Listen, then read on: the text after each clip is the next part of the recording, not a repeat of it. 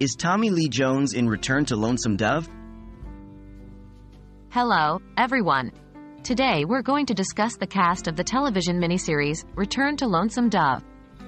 One common question is Is Tommy Lee Jones part of the cast in this series? Stick with me and you'll get your answer. Who is Tommy Lee Jones? Before we dive into the main question, let's quickly recap who Tommy Lee Jones is. He's a highly respected and renowned American actor known for his roles in films like The Fugitive, Men in Black, and of course, Lonesome Dove.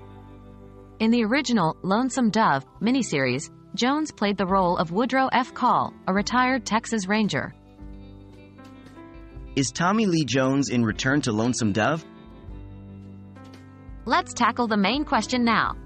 The direct answer is no, Tommy Lee Jones is not in Return to Lonesome Dove.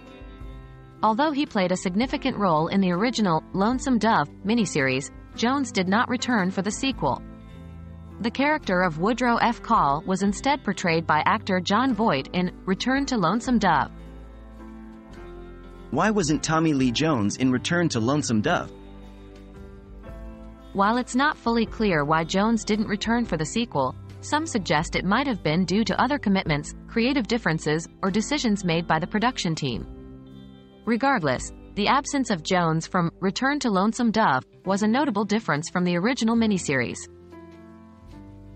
So there you have it. Although Tommy Lee Jones played a significant role in Lonesome Dove, he did not return for the sequel, Return to Lonesome Dove. His character, Woodrow F. Call, was instead portrayed by Jon Voight. I hope this clears up any confusion. Thank you for watching and until next time, stay curious.